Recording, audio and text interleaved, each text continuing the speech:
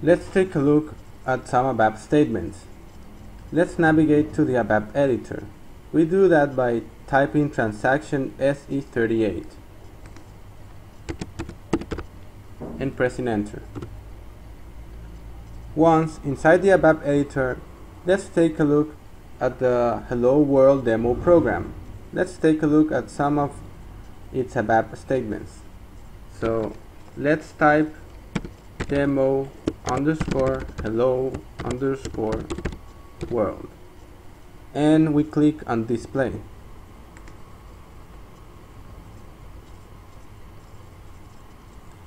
The system shows us the source code for the demo hello world. Let's take a look at these ABAP statements.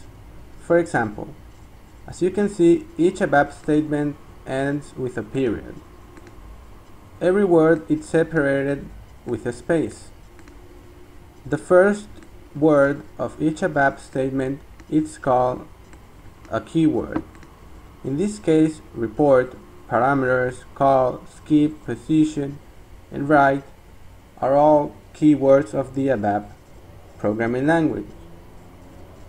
We write comments by using the asterisk character. This is a comment, the selection screen comment, the dpro comment, and the list comment. We can also use double quotations to write comments.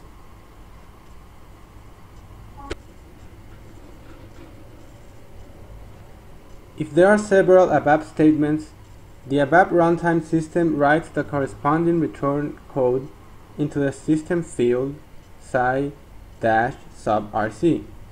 in order to provide information as to how successfully the particular statement was executed. The value 0 means that the statement was successful. Other value different from 0 means an, an error, warning, or exception occurred.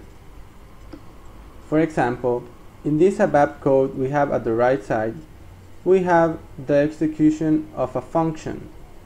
The function addr underscore get underscore complete. When the system processes this ABAP code, it returns a value on the system field side sub RC. If this value is 0 or equal to 0, then that means the function was executed successfully so we can continue with the or program flow logic.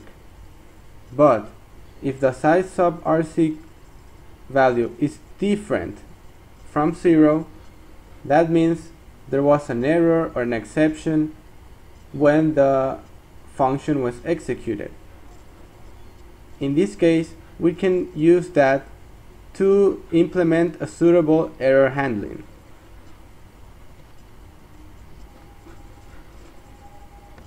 There are various ways of navigating to the documentation for an ABAP statement. The F1 key takes you directly to the documentation for the statement on which the cursor is positioned. The I button with the description Help On takes you to a dialog box where you can enter the required ABAP statement. Let's take a look at our Hello World program. Let's learn how to use the ABAP documentation.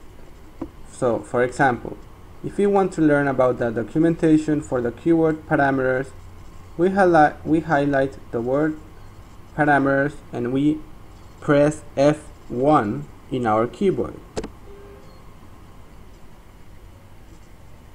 That will open up our ABAP documentation for our keyword parameters.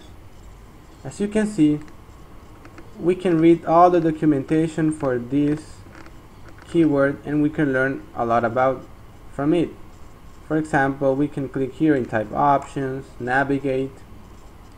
We can learn how to use it. The system presents us various examples of how to use the word, the keyword parameters.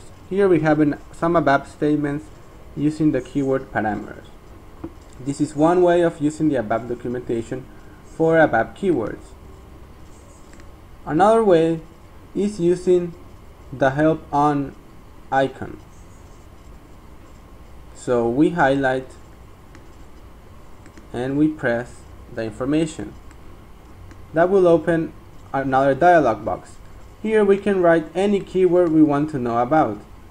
This time let's learn about the call screen keyword and we press continue. The system then shows us various options. We are gonna double click on call screen ABAP statement. And one more time we can see the documentation for the call screen ABAP statement. We can use this documentation whenever we are programming to learn more about our different ABAP keywords.